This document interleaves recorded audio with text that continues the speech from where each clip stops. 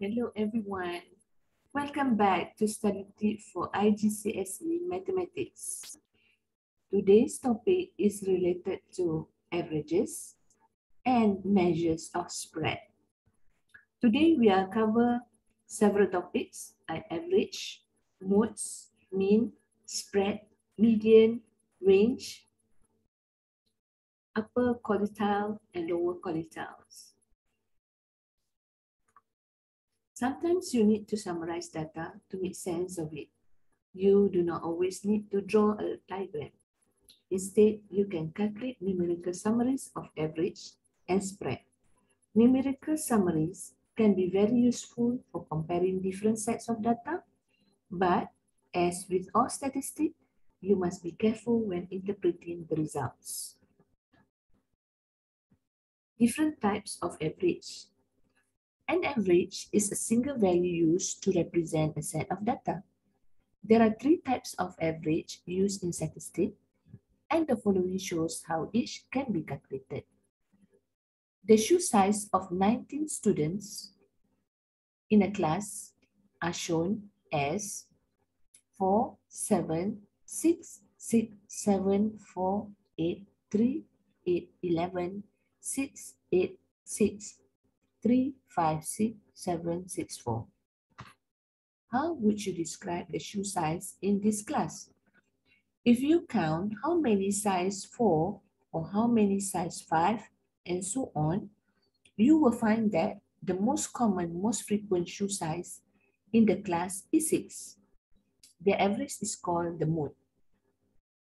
What most people think of as the average is the value you get when you add up all the shoe sizes and divide your answer by the numbers of students. Example, total of shoe size. If you total all the value, you might get the answer is 115 divided by number of student. Number of student here is 19. So the average that you can get is 6.05 is actually two decimal point. So the average is called the mean. The mean value tells you that the shoe size appear to be spread in some way around the value of 6.05. It also gives you a good impressions of the general size of the data.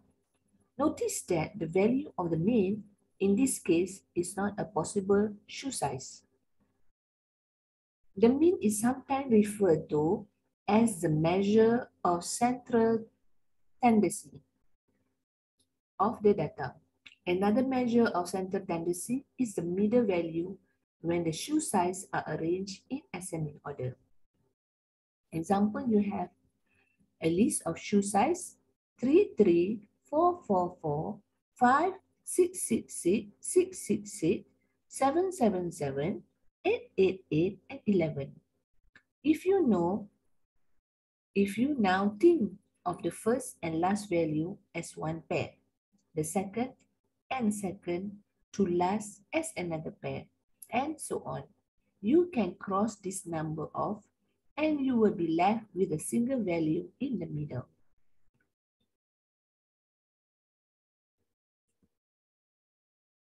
The middle value in this case is 6 and is known as median.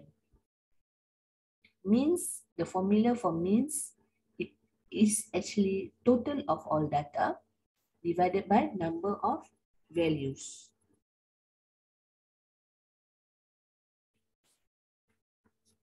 So, how to get the median is arrange the data into ascending numerical order.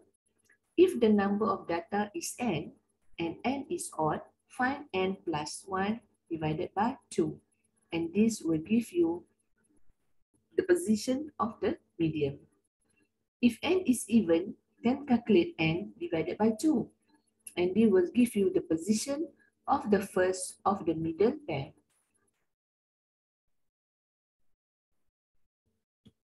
Given you the questions, ask you to find the total score after six tests. After six tests, Graham has a mean average score of 48. Okay, he takes the seven tests and score 83 for the test. What is Graham total score after six tests?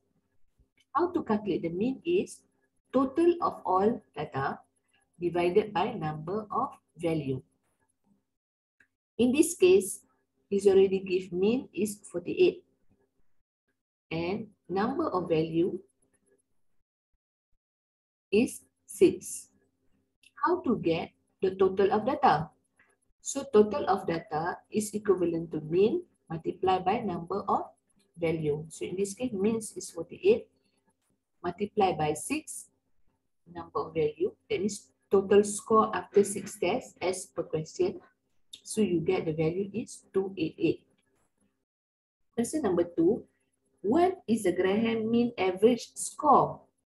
So if he wants to get the average score after 7 tests, you know that total of all 7 tests is actually total of first 6 plus 7. Okay, so you have total of data is 288 plus 83 because the 7 tests and the score is 83.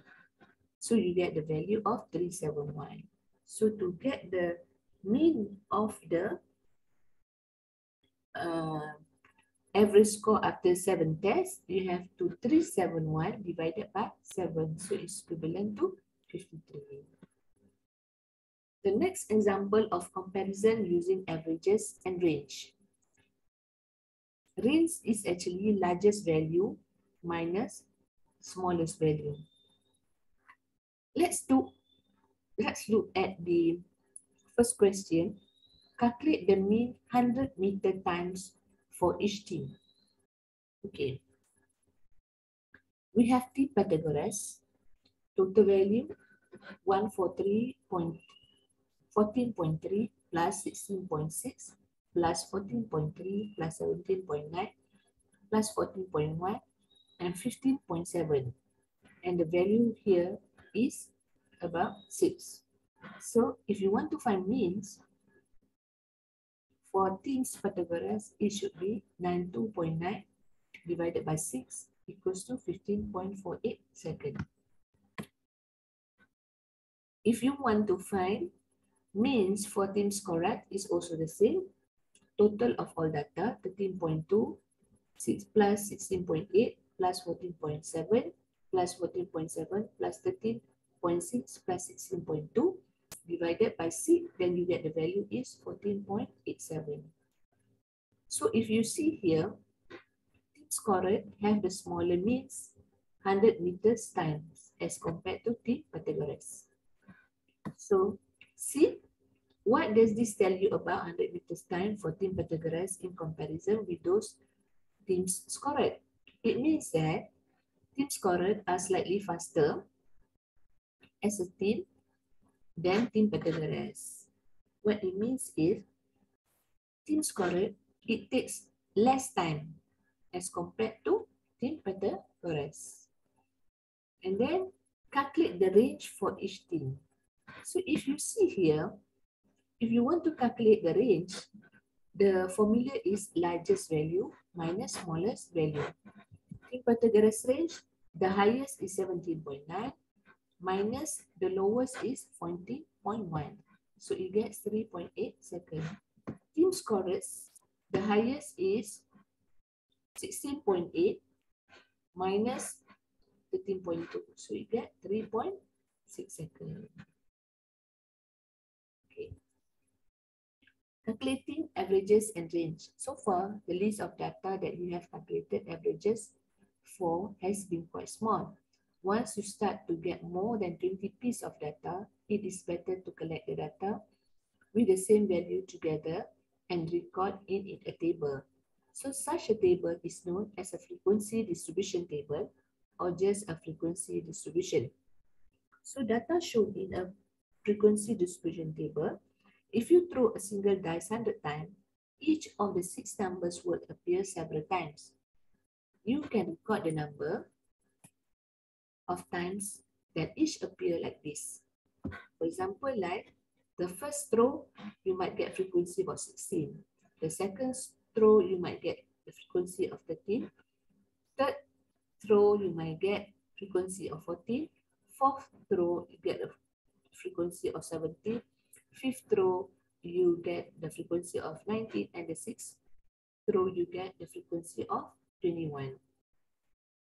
So if you want to calculate the frequency, the number on the upper face, what you got to do is 1 multiplied by 16 equals to 16. 2 multiplied by 13 equals to 26. 3 multiplied by 14 equals to 42. 4 multiplied by 17 equals to 68. 5 multiplied by 19 equals to 95. And 6 multiplied by 21 equals to 126. Total of this data of this score, you might get about 373.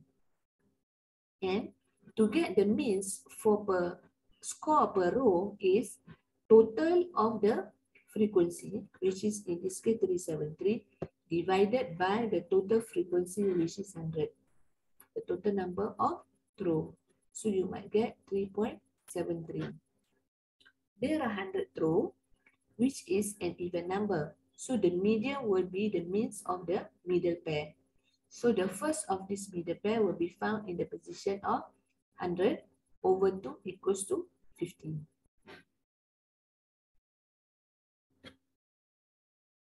The tables has placed all the value in order. The first 16 are 1, the next 13 are 2, and so on. Notice that adding the first three frequency give 16 plus 30 plus 43 equals to 43. This means that the first 43 values are 1, 2, or 3. So the next 70 values are 4th. So the 50th and 51st value will be both 4th. The mean of both fourth is 4, so this is the median. Mode. For the mode, you simply need to find the die value that has the highest frequency. The number 6 occurs most 21 times, so 6 is the mode. Range, the highest and the lowest value are known as, so the range is should be 6 minus 1 equals to 5. Mode, the value that has the highest frequency will be the mode. If more than one value has the same higher frequency, then there is no single mode. Means means, formula to calculate means is total of all data divided by number of value or it could be sum of frequency multiplied by value divided by total frequency as is already shown in the previous example. Median if the number of data is n and the n is odd, find n plus 1 divided by 2. And this will give you the position of the median. If n is even, then calculate n divided by 2. And this will give you the position of the first of the middle pair. Find the means of this pair. And then add the frequency in turn until you find the value whose frequency makes you exceed or equal the value from 1 or 2 above. So this is considered the process or the formula to calculate median. With that, that's all for today's um, class regarding averages, measures, and measures of the spread. Thank you very much.